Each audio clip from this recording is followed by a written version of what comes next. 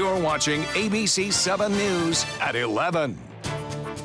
Good evening and thanks for joining us. I'm Jacqueline Matter. Our top story tonight, Florida Governor Rick Scott was in Sarasota today paying a visit to a local business and taking the time to talk about jobs. ABC 7's Rick Adams gives us a look at the governor's visit.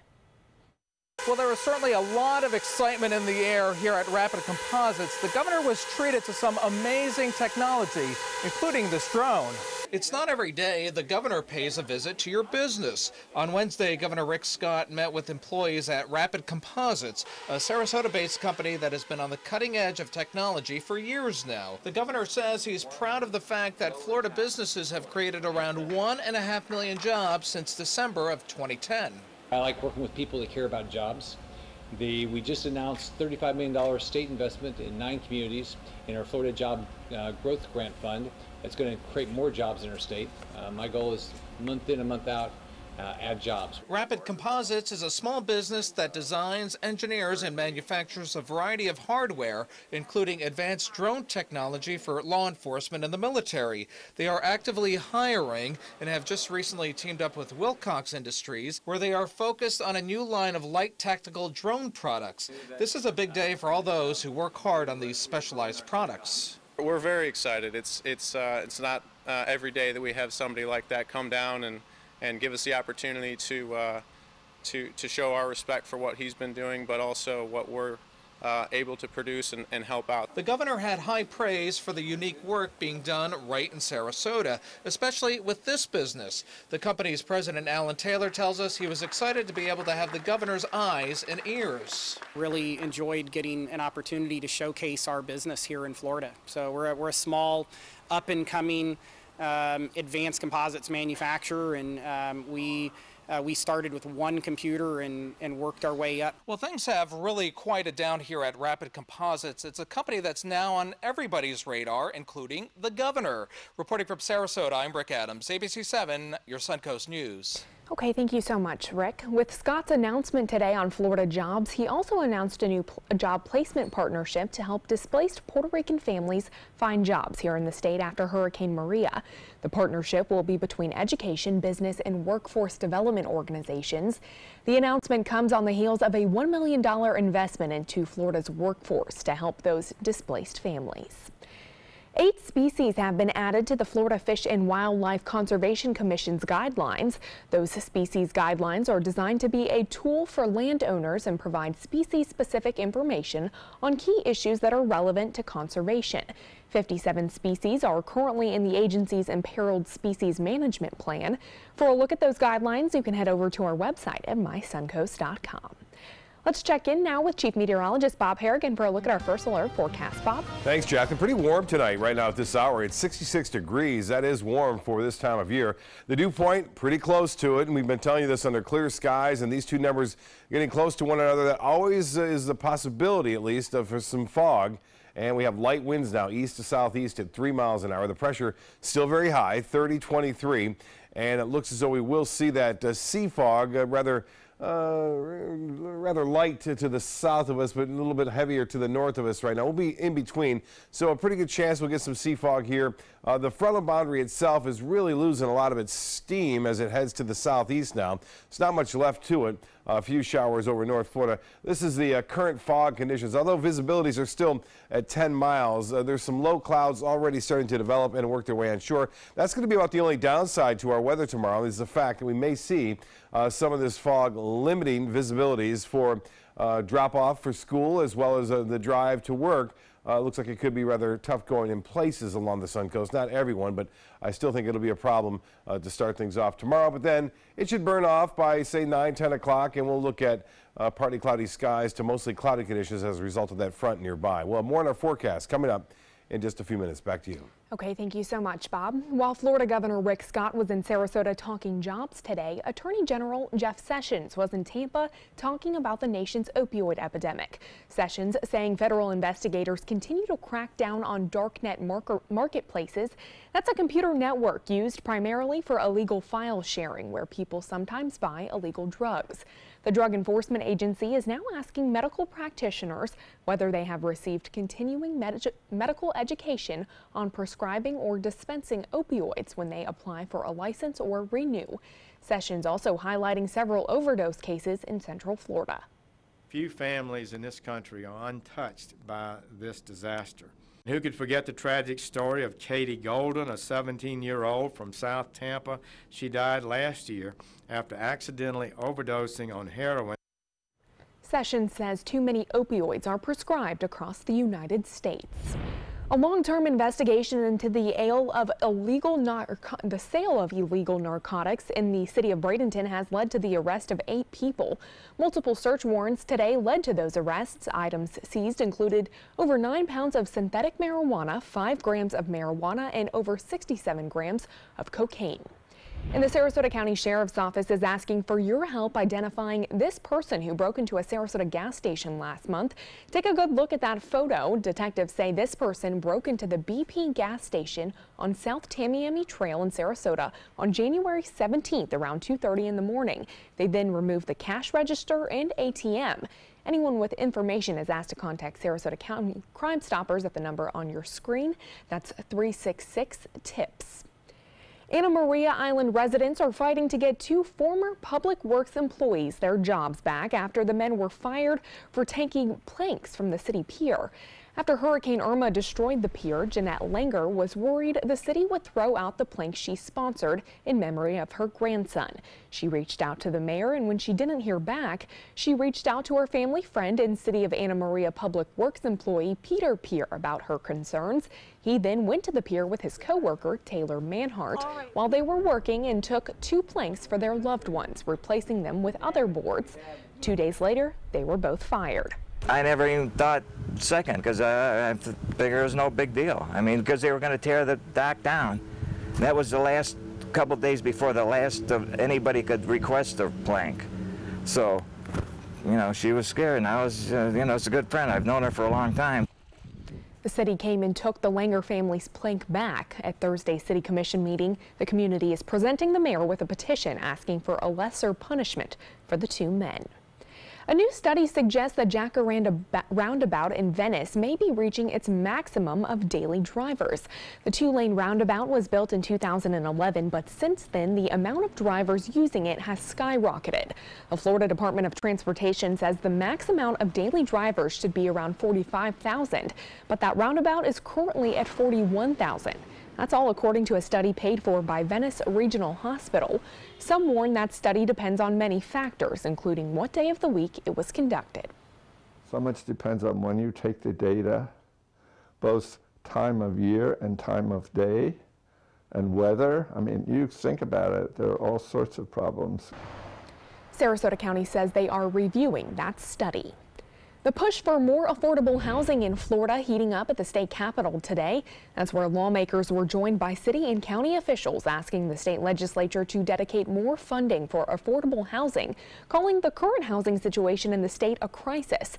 The group is also asking leaders not to divert money from the Housing Trust Fund to balance the state budget, which has been done in previous years.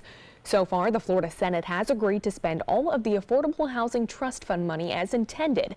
However, the State House plans to use more than half of it on other areas of the budget. In a proposal that would create voucher-like scholarships for students who have been bullied in public schools continues to move forward in the Florida House. The House Education Committee approving a bill today that would create the Hope Scholarship Program. It would be funded through drivers making contributions when they buy cars. In exchange for the voluntary contributions, the motorists would receive credits on their taxes that would otherwise pay on the purchases.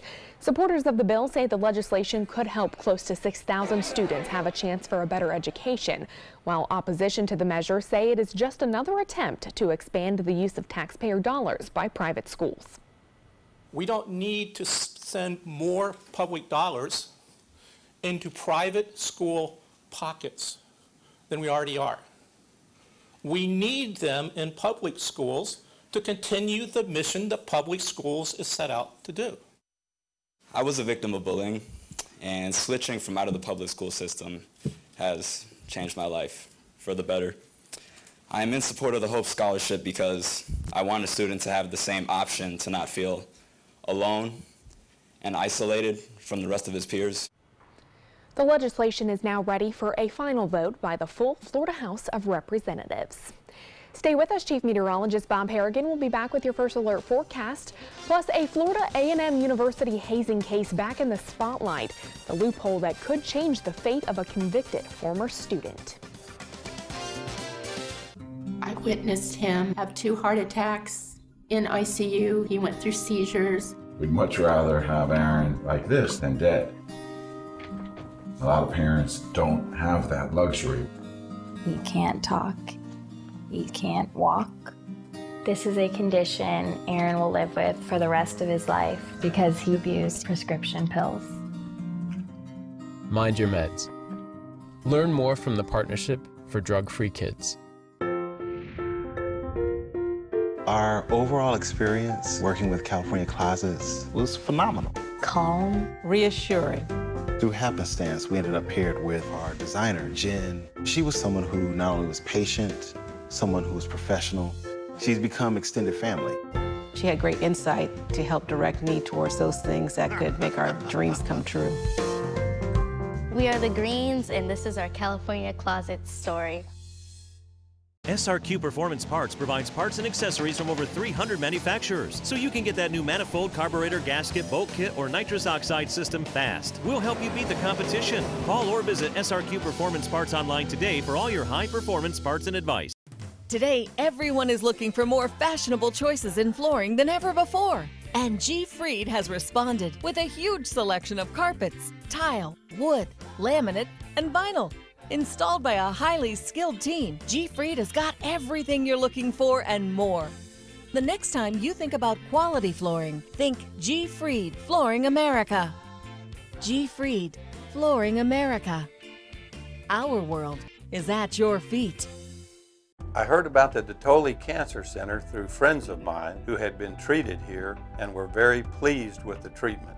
If there is prostate cancer, we at the Dattoli Cancer Center will find it using 3D color flow Doppler ultrasound. Mm-hmm. And that helped precisely identify where my cancer was. I can tell you that you will not find a finer, more professional team of clinicians anywhere in the world. We all love our kids and want what's best for them. You have the power to help your kids learn to succeed in life every day. When you promote a love for learning at home, children build the skills they need to be ready for school. You can be their everyday hero. It's easy. Just text Everyday Hero to 77453 for simple learning tips.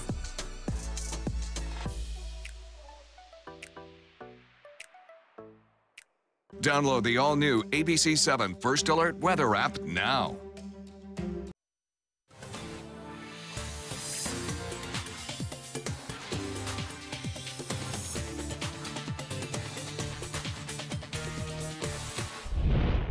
Well, Bob, another beautiful day here on the Sun Coast, but a case of Deadly hazing of a Florida A&M University band member is back in the spotlight. The lawyer for Dante Martin, convicted in the death of 26-year-old Robert Champion, says state law on hazing is vague and should not be applied in the case. That lawyer citing hazing law that makes an exception for customary athletic events or other similar contests or competitions. Champion was a marching drum major who died after bandmates beat him in a hazing ritual. Supreme Court justices hearing the case seemed skeptical that the exception exception would apply.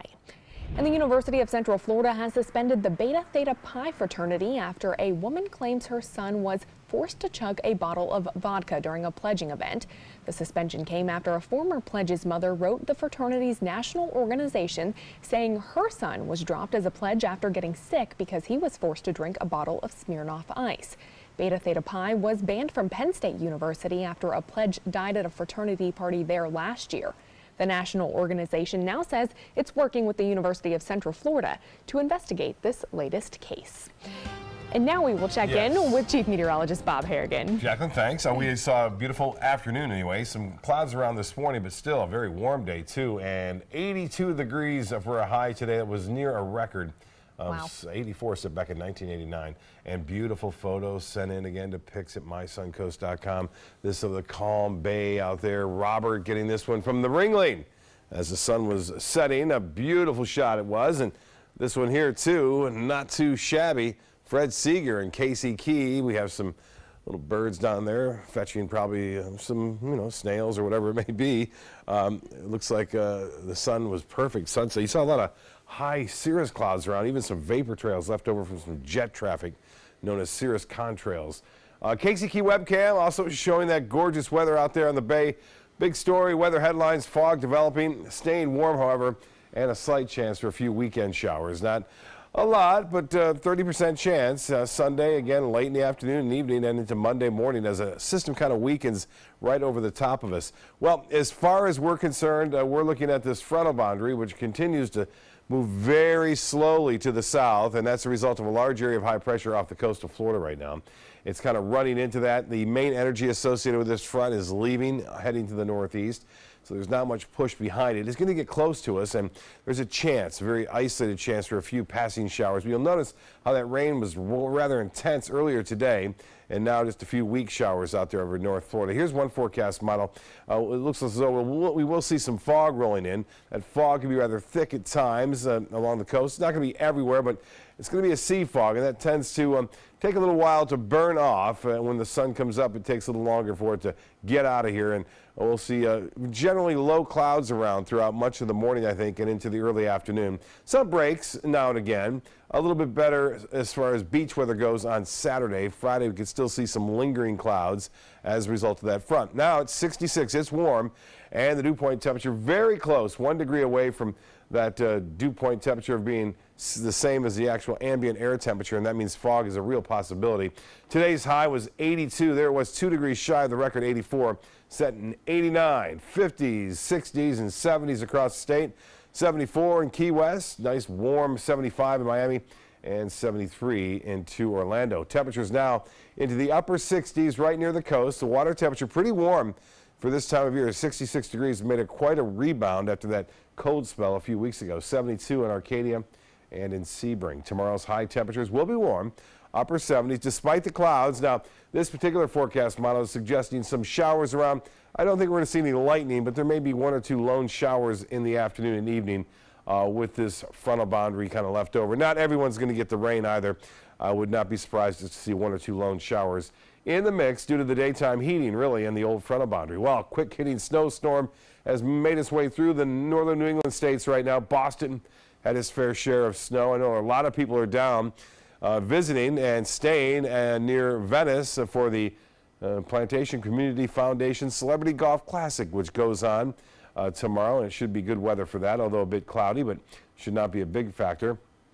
And we will see that rain staying to our north, uh, mainly throughout the weekend. Late Sunday, a slight chance for a shower here and there. Good weather for boating tomorrow. Light chop out there, seas running two feet or less, and a light chop uh, on the bays and inland waters. Here's the seven day forecast then. 77, a little cooler with some clouds around, slight chance for a shower, 20%. And then temperatures rebounding quite nicely in the low 80s on Friday and Saturday. Maybe a little bit more sunshine on Saturday, too. And then look for increasing clouds, a chance for showers late in the day on Sunday, Sunday night, and Monday, but temperatures remaining into the mid to upper 70s. Jacqueline? Okay, sounds nice. Thank you so much, Bob. The Florida House and Senate are set to approve rival versions of a new $87 billion state budget. Legislators spent most of today asking questions and making minor changes to that spending plan that will cover all state spending from July of 2018 to June of 2019. The House and Senate are expected to take a final vote tomorrow. While the two chambers are spending roughly the same, they are not spending the same amount in the key areas, including environmental programs, public schools, and state universities. The annual session is scheduled to end on March 9th. And today, the Senate agreed to a rare bipartisan spending bill, but it does not include a deal on immigration, something that both President Trump and Democratic leader Nancy Pelosi want. ABC's Tara Palmieri gives us a look at what the bill does include. Senate leaders on both sides of the aisle are claiming victory. They agreed to a two-year spending bill that, if approved by the House, would avoid a government shutdown. This budget deal is the first real sprout of bipartisanship. I hope we can build on this bipartisan momentum. The deal includes billions for opioid treatment, disaster relief, and infrastructure, and a big boost to defense spending. But the bill puts off immigration for another day, and that's not cutting it for House Minority Leader Nancy Pelosi. She gave a speech on the House floor for eight hours in support of Dreamers. undocumented immigrants brought to the country as children. This package does not have my support, nor does it have the support of a large number of members of our caucus. On Tuesday, President Trump provoked a shutdown over his immigration demands. He wants a wall along the southern border in exchange for amnesty for the Dreamers. White House spokesperson Sarah Sanders said he welcomes the Senate deal, even if it doesn't include an immigration fix. I think we've made clear that uh, the budget deal should uh, be a budget deal and that members of Congress, like Nancy Pelosi, should not hold our military hostage over uh, a separate issue. The Senate bill has been sent over to the House. They have less than 24 hours to secure votes on a bill that not only excludes immigration, but also raises the deficit, something House conservatives will most likely reject. I can't imagine there's a whole lot of us wanting to vote for this. Now, the DACA program that protects Dreamers expires on March 5th, but the president's chief of staff said they have no plans to extend that deadline, putting pressure on Congress to act. Tara Palmieri, ABC News, Washington. Sports is next, but first, here's what's coming up on Jimmy Kimmel. We made a show tonight if you like that sort of thing. Didn't you say your dad like li lives on a garlic farm or something like yes, that? Yes, Does your husband smell like garlic all the time? Well, I do as well. So. You do as well.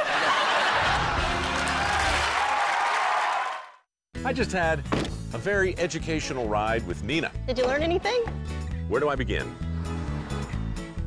So all this stuff goes into a safety check. Yep. It's a long list. It's important stuff. Test the smoke detector. Yep. Check the breaker box. Yep. Meter the GFCIs. Ground fault circuit interrupters. Why do that. Call 888 Sparky. Nina, you make it look easy. Thanks, but don't do it yourself. Who's your guy? My name is Stephen Jaffe. Uh, the law firm's name is Farmer Jaffe. One of the beautiful things about Julius is he's always smiling, and it becomes infectious. The fact that Julius has a disability has absolutely nothing to do with the quality of work that he's done. Just a, a great person you want on your staff. Hi, this is Dan Marino. When your business recruits people with disabilities, everybody wins. To find out how, go to disabilitieswork.employflorida.com. This is your brain. This is drugs. This is your brain on drugs. Any questions? Um, yeah, I have questions. Prescription drugs aren't as bad as street drugs, right? Weed's legal, isn't it? Drinking is worse than smoking weed. Isn't it? Why is heroin so, so addictive? Molly just makes you feel happy. I have questions. Mom? Dad, did you ever try drugs? They're going to ask. Be ready. Go to drugfree.org. A message from Partnership for Drug Free Kids. My life motto is keep moving. And as hard as it was when my husband passed away, I knew I had to keep doing what I love. Oops, coming. But I needed help, help with my insurance, and that's what the NAIC provides. They have resources to help you and your family make the best decision, and they'll help you to keep moving forward, just like me. My name is Luke Perry, and I am 1 million strong. I'm in the fight against colorectal cancer because I believe we can win it. Colon and rectal cancers are the second leading cause of cancer deaths among men and women in the U.S. Colon cancer is preventable. Know the risk factors and make sure to get screened. There are simple, take home options available. Take control of your health. Screening for colon cancer isn't embarrassing, it can be life saving. To find out more about your options, visit fightcrc.org. Soldiers in the Army National Guard live up to a set of time honored principles.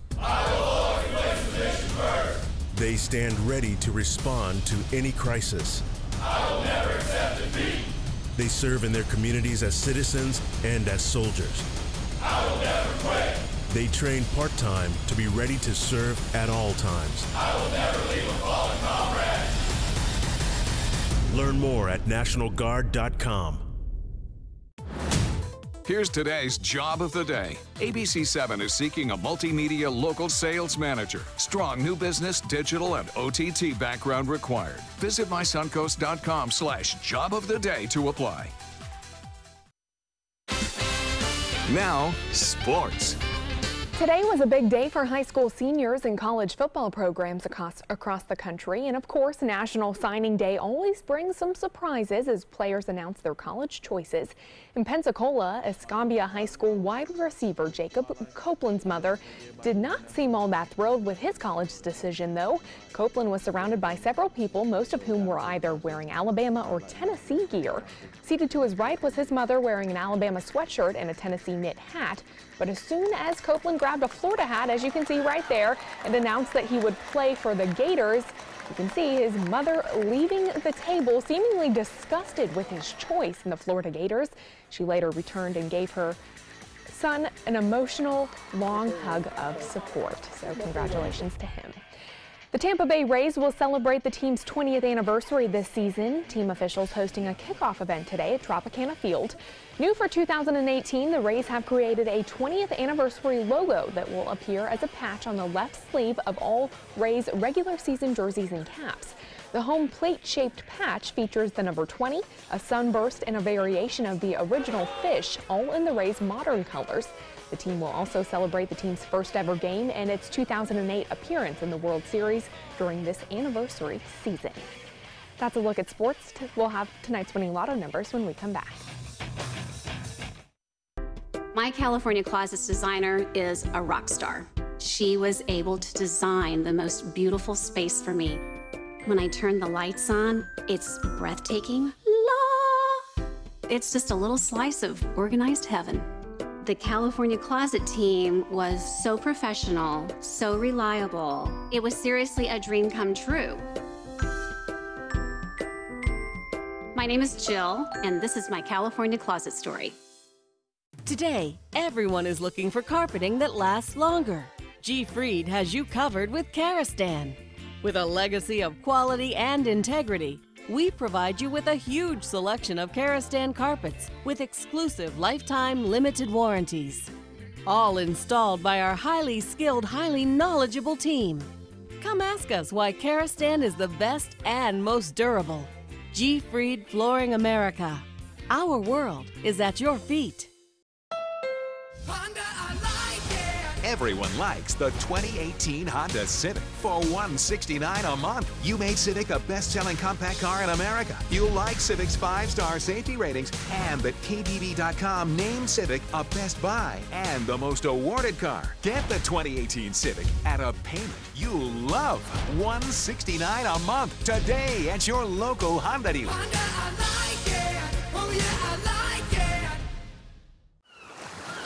Planning a Carnival Fantasy Cruise out of Mobile? Then check out the park and cruise packages at the luxurious Battle House and Renaissance Riverview Plaza hotels. Stay at the Battle House for 169 per night or the Riverview Plaza for just 149 per night and leave your car for the duration of your cruise. Includes transportation to and from the cruise terminal. If you're cruising out of Mobile, come stay with us. Call 1-800-MARRIOTT or visit marriott.com now. Meet Blue. Blue's not feeling well. The prescription? Generic medication. Blue wonders do they really work as well as name brands? Yes, generics and name brand medications do work the same. Even though they may look different, generics have the same key ingredients. FDA approval is equally rigorous for generics to make sure they're as safe and effective as name brands. And Blue even saves some green, making him a little less, well, blue. Talk to your doctor about generics and visit fda.gov slash generic drugs. That is a pretty good breakfast. You're not even eating. Not hungry. No? Why not? What's up? Kath and I knew that Jenny'd been partying a bit. Found out she tried heroin.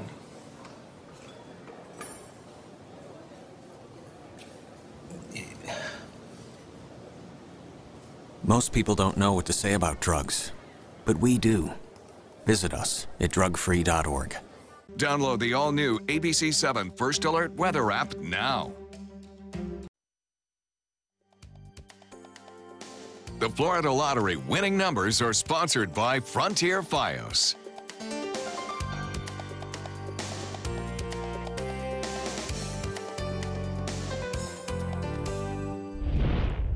The world's first space sports car is cruising toward the asteroid belt well beyond Mars. Today, SpaceX chief Elon Musk confirming the new, more distant route for his rocketing Tesla Roadster, which was launched aboard the company's Falcon Heavy from Florida yesterday. Musk says the final firing of the upper stage put his red convertible into a solar orbit that stretches all the way to the asteroid belt between Mars and Jupiter. The original plan had the car traveling no further than Mars. In the driver's seat of the Tesla is a space-suited mannequin named nicknamed rather Starman. Musk does not plan to fly people on the Heavy, but it is working on an even bigger rocket for deep space cruise. So stand by. Just amazing what Yeah, we saw it is. yesterday. It is, it is pretty wild to see that car up there in space like that with the nice cameras too. The HD out there. Almost looks check- unreal. Yeah, you, you wonder if we're going to see anything uh, kind of looking around. You never know. Right. Nice car like that, aliens might pick it up, you know. Pretty nice, nice car. Uh, nice weather for us in the fog in the morning, but nice weather in the afternoon and evening. Temperatures will top out in the upper 70s even tomorrow with the, the fog and clouds around. So still pretty warm. Okay, thank you so much, Bob, and thank you all for joining us this evening. Have a great rest of your night.